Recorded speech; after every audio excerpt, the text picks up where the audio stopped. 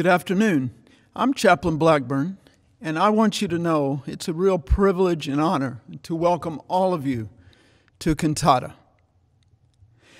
I especially think of our residents and our staff, many guests that are joining us, board members, family members of our kids, alumni, donors, friends, and others.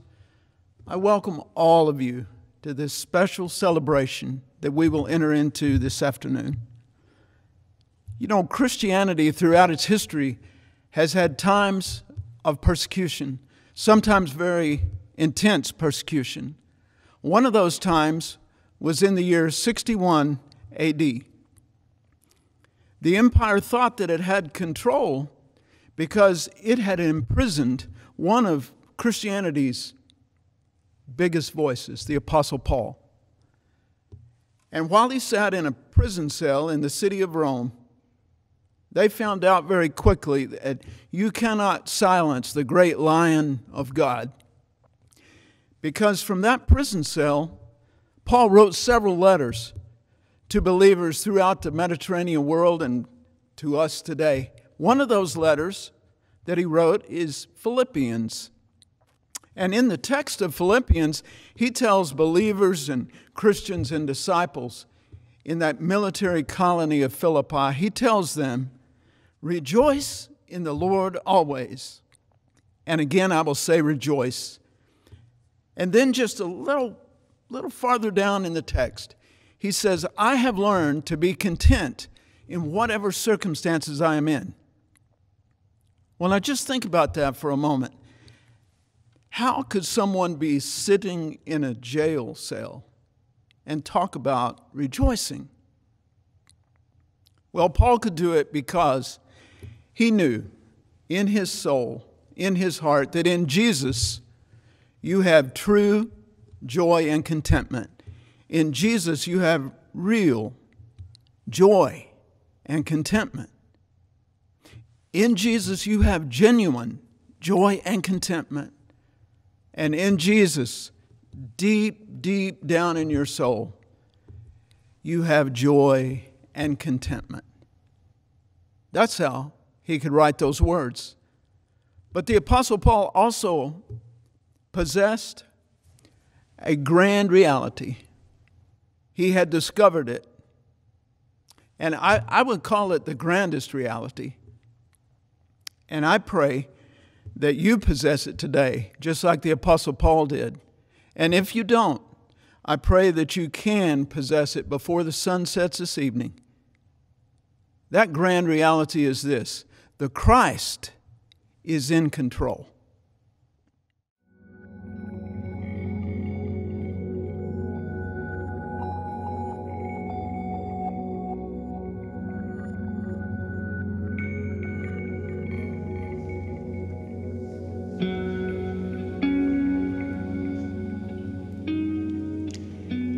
Beginning was a song. And the song was God's joy, and God was joy, sung beautifully to a world surrounded in silence here now.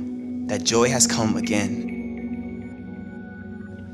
On a silent night, a son is given, and I picture God laughing at the irony as he orchestrates the symphony that history's been waiting to sing along to. Joy has come. It sounds like angels sweeping throughout a city, whispering God's wonder to the world, but the wait is finally over. Joy has come. It sounds like the laughter of a child who was born to parents who had long been barren, as it echoes back to the story of a God who always gives life no matter the limitation. We try to figure it out ourselves. We seized autonomy from God, trying to define good and evil in a fallen world felt like trying to play a perfect song on broken instruments. We all forgot our part, and the world became more noise than music, more weeping than laughing, more ashes than beauty and sorrow, almost swallowed the story whole. But joy has come. It sounds like the promised one of Israel has come so that all the empty might be filled. Joy has come. It sounds like the pouring out of the fullness of God and the one that is fully man. It sounds like an answer being spoken into the question of a womb, a truth wrapped in mystery, joy wrapped in song, a God wrapped in flesh for our lives to be wrapped in His. Joy has come. May we join in this cosmic celebration, for a child has come to teach our tongues the lyrics of heaven's anthem. May we seek the holy day of the giver, not a holiday for consumers. May we not place our joy in what we can buy, but rather in the one who has come so that we might be purchased. We can find the joy that is limitless and infinite and true, joy to the world. For the Lord has come, joy has come through this child, this Christ our Lord. Let us sing. Let us all prepare to receive the coming of our King, the coming of joy.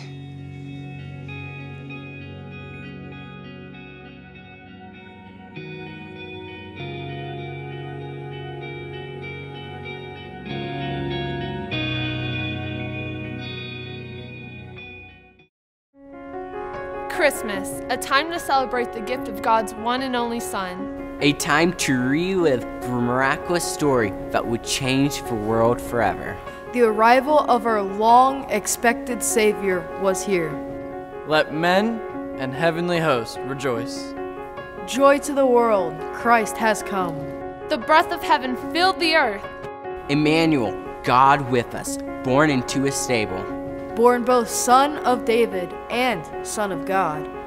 The King of kings now dwelt among us. His kingdom would know no end. His love would reign forever. Joy to the world, Christ has come.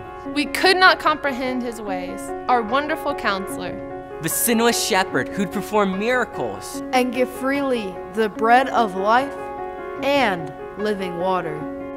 We would hunger and thirst no more. Joy to the world, Christ has come. Christmas, a time to celebrate the arrival of the Messiah, the Anointed One.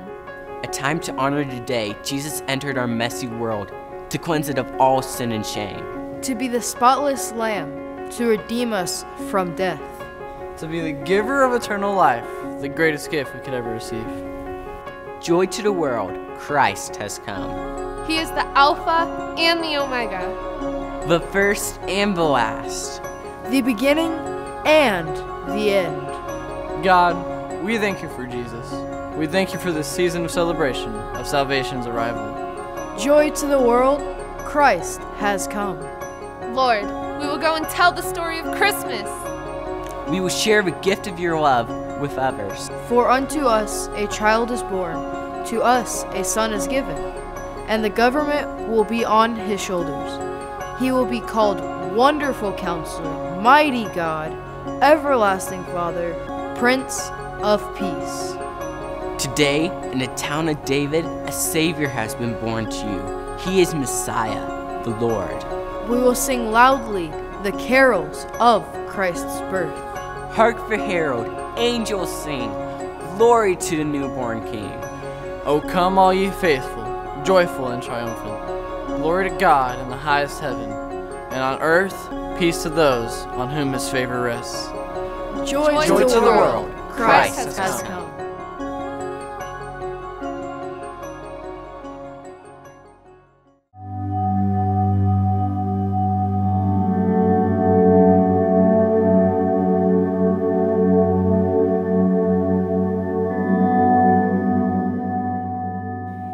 Sixth month of Elizabeth's pregnancy, God sent the angel Gabriel to Nazareth, a village in Galilee, to a virgin named Mary.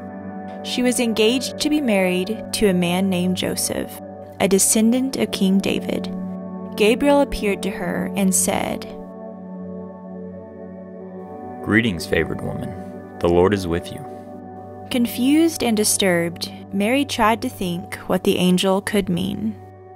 Don't be afraid, Mary, for you have found favor with God. You will conceive and give birth to a son, and you will name him Jesus. He will be very great and will be called Son of the Most High. The Lord God will give him the throne of his ancestor David, and he will reign over Israel forever. His kingdom will never end. But how can this happen? I am a virgin. The Holy Spirit will come upon you, and the power of the Most High will overshadow you. So the baby to be born will be holy, and he will be called the Son of God. What's more, your relative Elizabeth has become pregnant in her old age. People used to say she was barren, but she has conceived a son and is now in her sixth month. For the word of God will never fail. I am the Lord's servant. May everything you have said about me come true.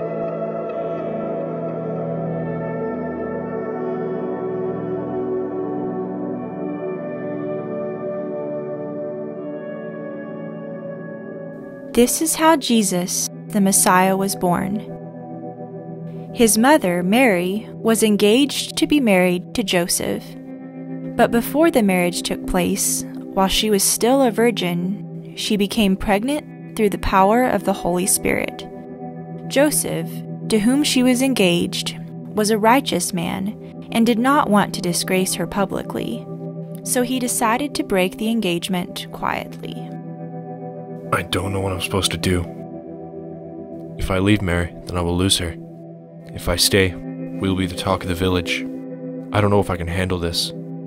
This wasn't supposed to happen. This isn't what I imagined for us. Everyone will judge and look down on us. I don't know what I'm supposed to do. Stay? Leave? I just don't know. I love Mary, but I'm concerned what this would do to her. To me. To us. As he considered this, an angel of the Lord appeared to him in a dream. Joseph, son of David, do not be afraid to take Mary as your wife, for the child within her was conceived by the Holy Spirit. And she will have a son, and you are to name him Jesus, for he will save his people from their sins. All of this occurred to fulfill the Lord's message through his prophet. Look, the virgin will conceive a child. She will give birth to a son, and they will call him Emmanuel, which means God is with us. When Joseph woke up, he did as the angel of the Lord commanded and took Mary as his wife.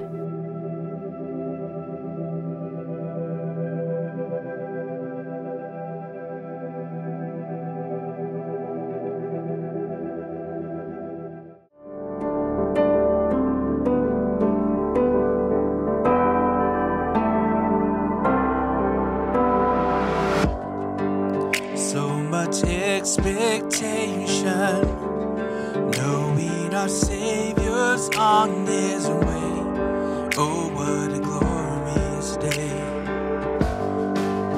From the throne of heaven to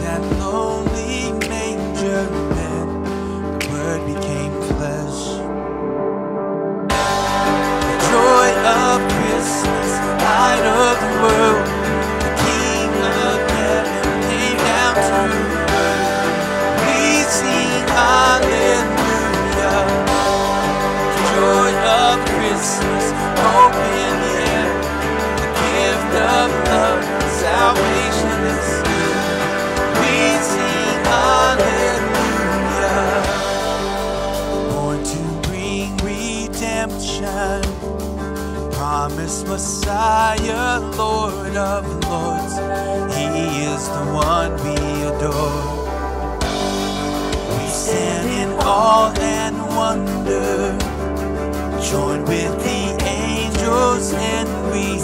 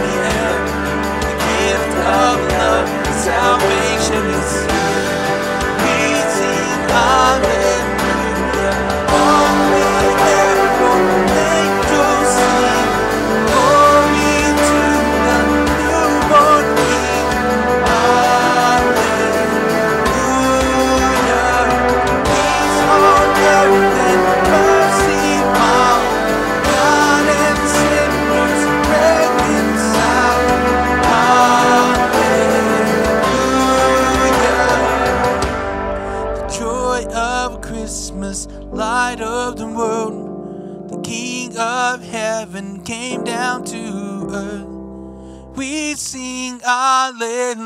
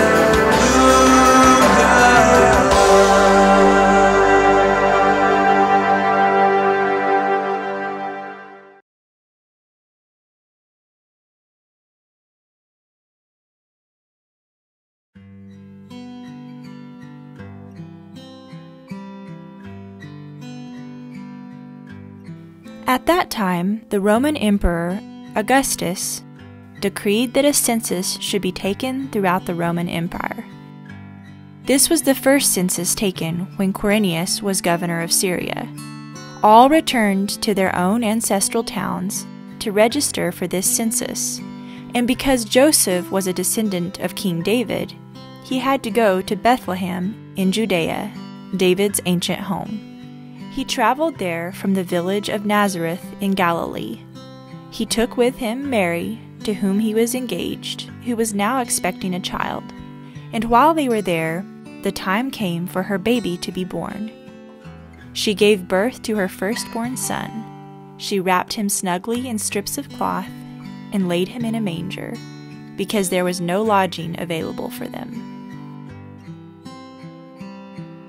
That night, there were shepherds staying in the fields nearby, guarding their flocks of sheep. Suddenly, an angel of the Lord appeared among them, and the radiance of the Lord's glory surrounded them. They were terrified, but the angel reassured them. Don't be afraid. I bring you good news that will bring great joy to all people.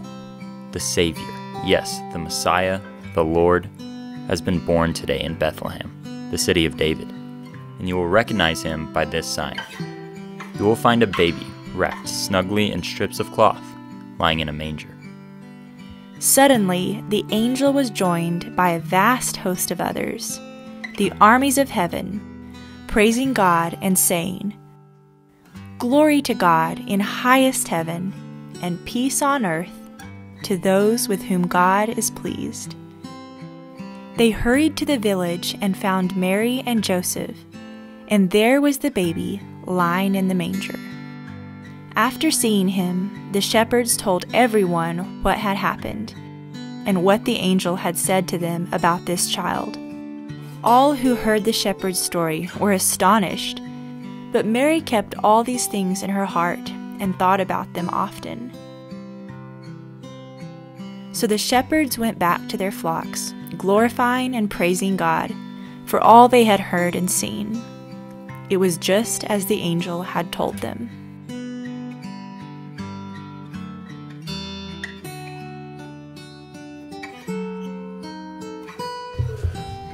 Uh, friends, as we gather here with our cantata tonight, it's no big secret that uh, things are not the way they normally are. Uh, things have been interrupted. Uh, for one, we haven't been, we're not gathering here in the chapel together the way we normally would. First time ever. COVID has kicked us out and made us exiles. And I suspect every single one of you listening know what it's like to be exiled this year due to COVID. Um, many of my young friends out here um, have been exiled from their favorite extracurricular activities. Um, basketball, for instance, my, my friends who play high school basketball have been exiled from the gym and from the school bus, haven't been able to play a single game. Um, my young friends, all of you know what it's like to be exiled from the school classroom and have to do online learning at, at, at home. Um, house parents, you know all too well what it's like for your students to be exiled from the classroom and do online learning at home. It's been hard on everybody.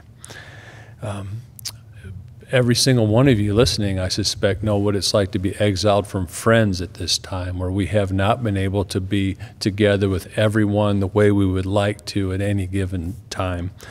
Um, we've been exiled from family, where we're not able to gather for family things like we normally would.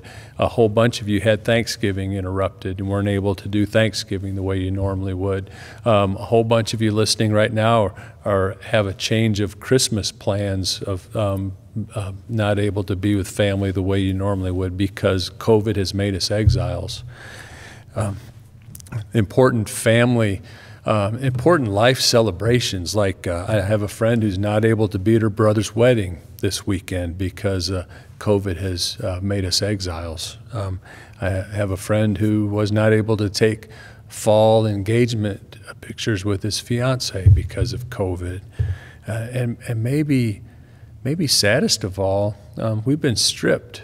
All, we've all been stripped of uh, smiles and hugs. Yeah. Um, our smiles have been covered with masks, and our hugs um, have been put away with social distancing. So we become exiles in this very unusual time that we didn't see coming. So, exiles, I like you to listen tonight to what the Bible says in uh, Isaiah chapter 61. Verse 1 The Spirit of the sovereign Lord is upon me, for the Lord has anointed me to bring good news to the poor. He sent me to comfort the brokenhearted. And then in verse 7, it goes on to say, instead of shame and dishonor, you will enjoy a double share of honor. You'll possess a double portion of prosperity and everlasting joy will be yours. So, let me tell you about joy. Joy is different than a thrill. It's not something that you can make, measure, or buy.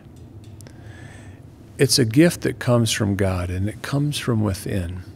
And as best I could describe it, it's something wonderful beyond words in here that God gives us as we're becoming that which we've always been created to be. COVID 19, okay, can extinguish pleasure and fun, and it has. But it cannot ever extinguish joy that comes from God. Let me say that again.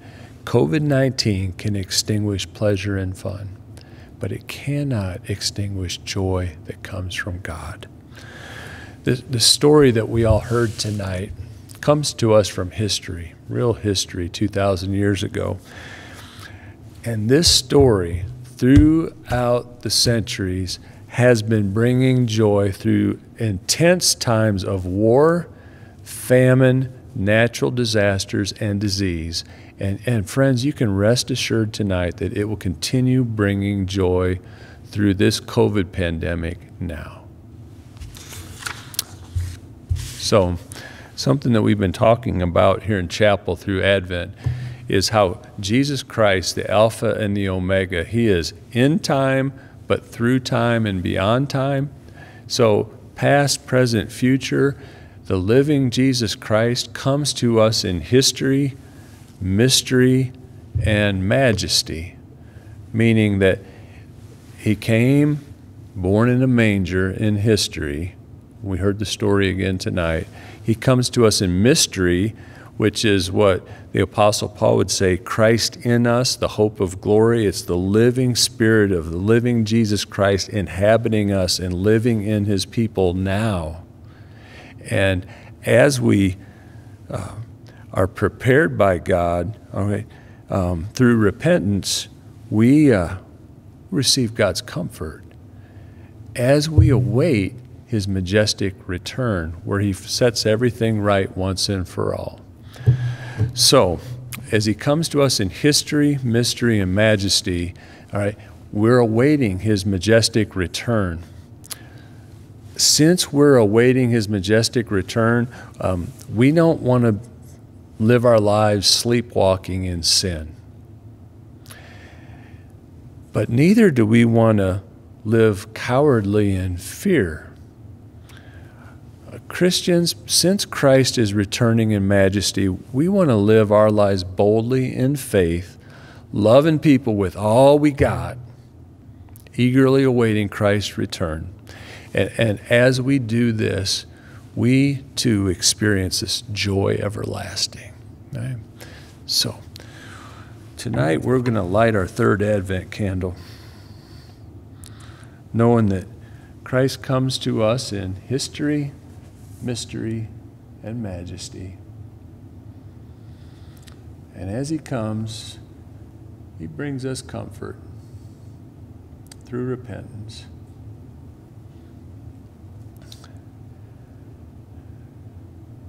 And as we wait and as we love people,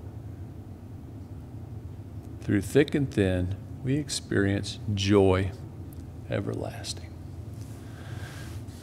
And that's good news. So, one tradition that has not been called off due to the COVID pandemic is uh, a time of candlelight here in our cantata service. So, I know uh, some of you in the homes who are listening tonight uh, have candles, and at this time you're invited to light your candle. And those who might be uh, watching our service from far and wide, you're invited to, to light a candle at this time and join us as Grace and Miss Angela lead us in Silent Night.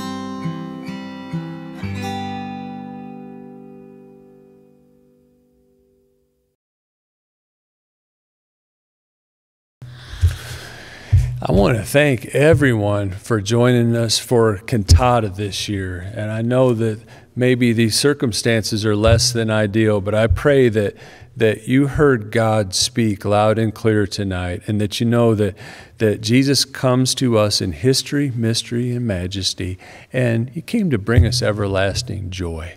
Um, one tradition that has been interrupted due to COVID is uh, when our campus is open, a normal cantata year, we, we have uh, some really good neighbors across the highway. There are uh, some Franciscan sisters, uh, the disciples of the Lord Jesus Christ, who normally come over here and they'll sing carols and, and stop in at our home parties and, and pray blessing over the campus. Obviously, in a year like this, they're not able to Angels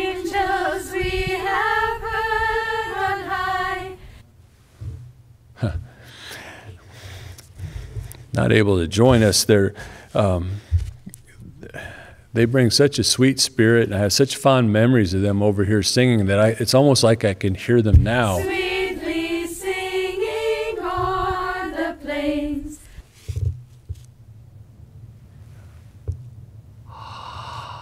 Merry Christmas! From God's Word. In Bethlehem, Mary gave birth to a son, her firstborn. She wrapped him in swaddling clothes and laid him in a manger, because there was no room for them at the inn. In the countryside close by there were shepherds who lived in the fields and took in turns to watch their flocks during the night. The angel of the Lord appeared to them, and the glory of the Lord shone round them. They were terrified, but the angel said, Do not be afraid. Listen, I bring you news of great joy, a joy to be shared by the whole people. Today, in the town of David, a Savior has been born to you. He is Christ the Lord. And here's a sign for you you will find a baby wrapped in swaddling clothes and lying in a manger. And suddenly, with the angel, there was a great throng of the heavenly host praising God and singing. Angels we have heard on high, sweetly singing o'er the plains, and the mountains in reply,